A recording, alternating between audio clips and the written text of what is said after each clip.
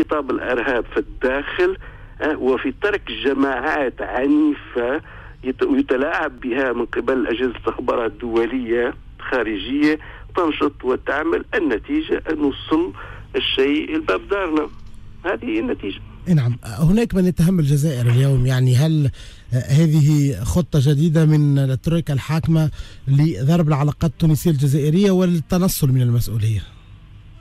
يعني هل الآن طبعا أنا شفت على فيسبوك وشفت حتى في تلفزيون المتوسط كلام خطير جدا من نوع أنه يتهم المخابرات الجزائرية بالقيام بذلك.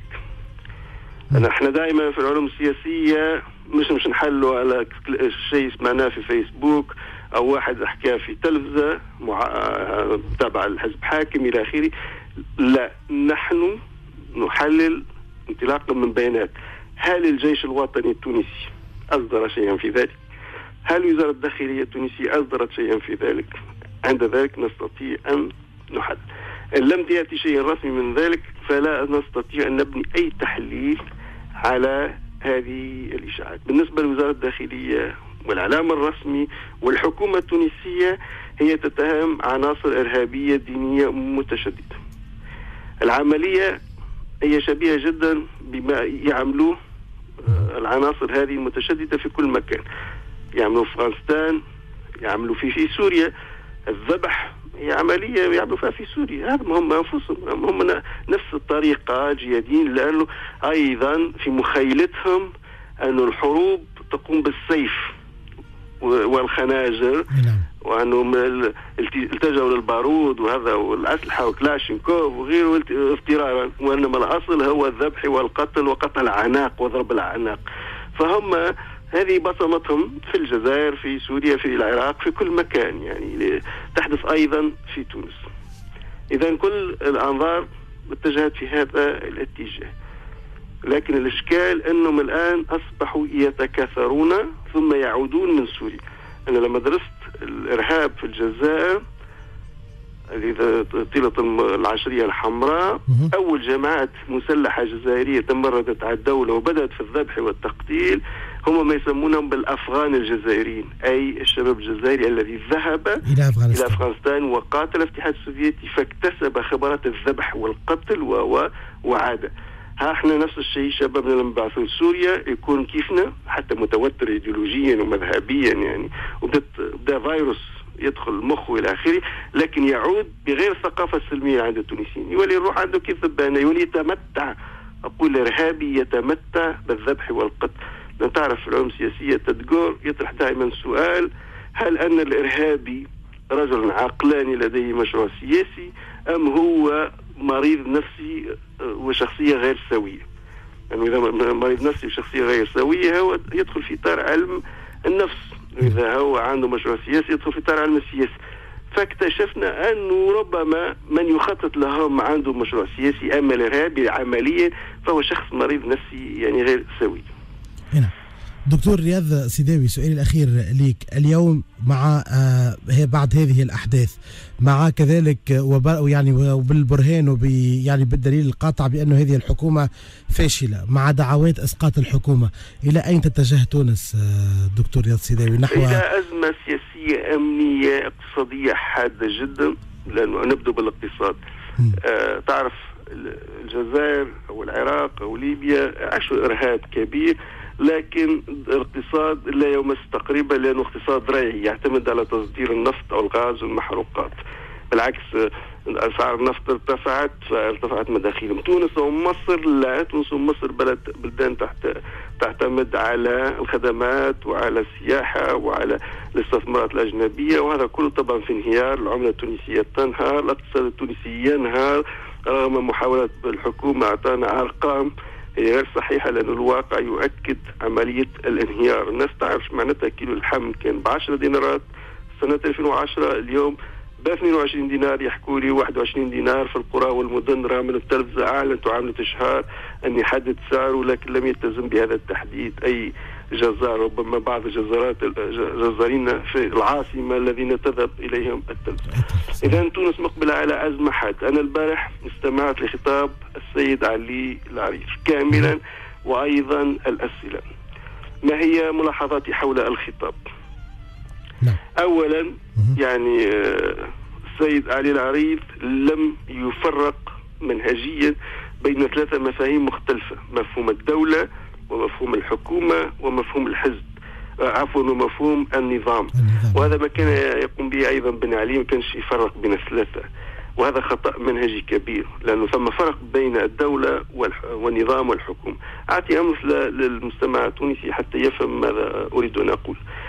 الدولة مثلا مقدس من يدعو في تونس مثلا إلى تفتيت الدولة إلى تمزيقها إلى جعلها دويلات إلى تقسيمها هذه خيانة عظمى وتآمر على الدولة وانقلاب عليه. ثانيا من يدعو أيضا إلى قلب النظام بمعنى النظام التونسي الجمهوري الديمقراطي يريد أن تصبح ملكية نظام ملكي استبدادي مثل قطر أو السعودية. هذه أيضا انقلاب وتآمر على النظام الديمقراطي الجمهوري في تونس. أما من يريد أن يسقط الحكومة فهي مسألة طبيعية جدا وعادية جدا في كل ديمقراطية الديمقراطيات تسمح بإسقاط الحكومات بل هي جزء لا يتجزأ من اللعبة السياسية الديمقراطية أذكر أنه في إيطاليا في الثمانينات كل شهرين ثلاثة كانت تسقط حكومة مع- أعمار الحكومات لا تتجاوز شهرين ثلاثة. هي الكويت هاي الكويت فيها تجربة ديمقراطية ومجلس أمة و حكوماتها في بعض الأحيان لا تتجاوز ستة أشهر. هي. تتحل هي تحل البرلمان الدولة باقية ما أريد والنظام باقي لكن اسقاط الحكومة وقيام الحكومة وتشكيل الحكومات. لا علاقة له بالدولة وبالنظام وبالانقلاب وبالمؤامرات مسألة عادية أن تسقط الحكومة اذا هذه الحكومة أيضا آه، خطاب آه، سي- سيد آه، علي العريض.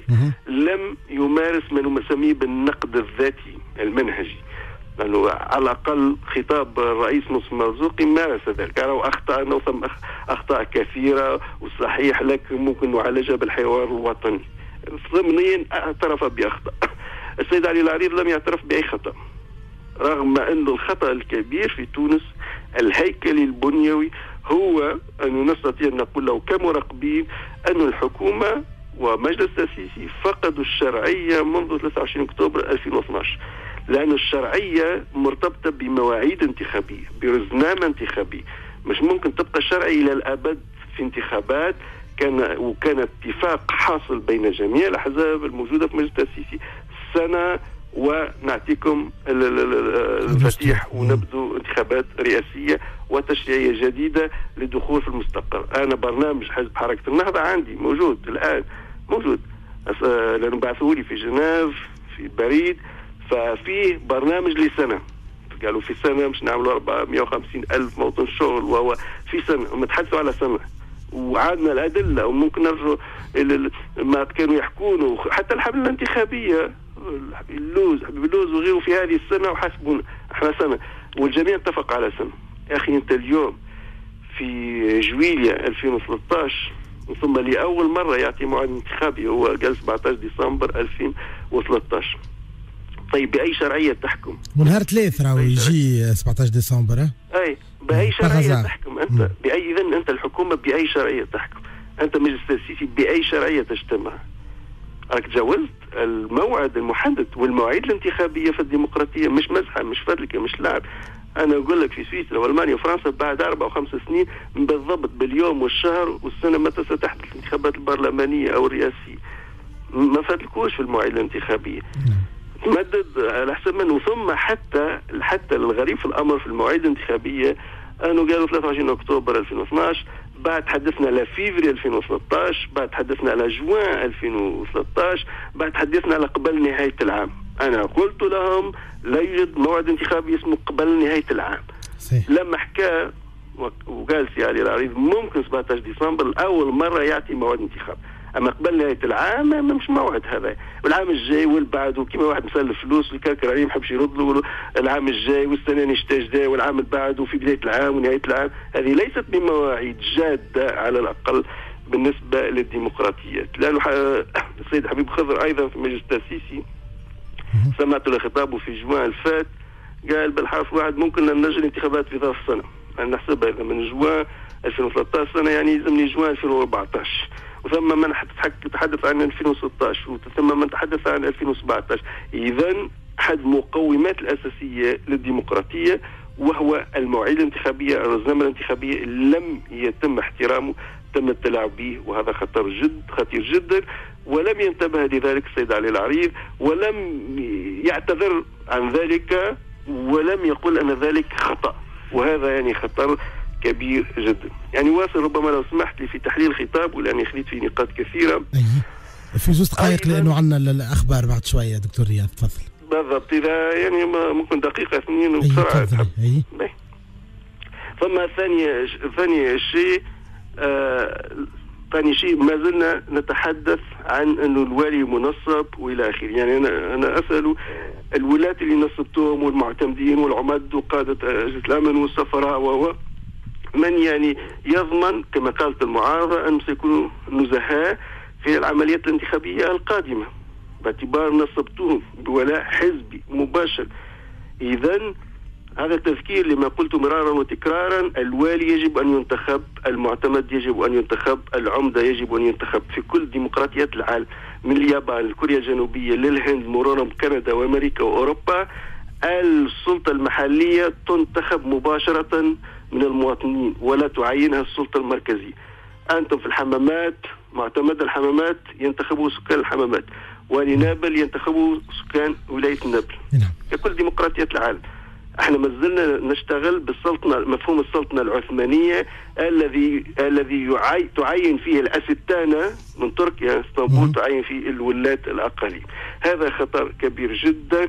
ثم في خطابه السيد علي العريف لم يتحدث عن من هم الذين يمارسون العنف لم يذكر مثلا القاعدة كاسم لم يذكر مثلا أنصار الشريعة ولم يذكر من. يعني تحدث بشكل هلامي وكانوا الإرهابيين تنظيم ليبرالي أو ديمقراطي أو يساري أو قومي في حين أن هويته الإيديولوجية المذهبية والبشرية وأساميهم معروفة للجميع. عندي نقاط أخرى لكن ما نحبش نضغط على الأخبار السياسية. نعم نشكرك برشا دكتور رياض السيداوي الكاتب والباحث في العلوم السياسية ومدير المركز العربي للدراسات السياسية والاجتماعية في جنيف. شكرا جزيلا لك وأكيد لنا صفحات أخرى على إذاعة كابا فيم شكرا لك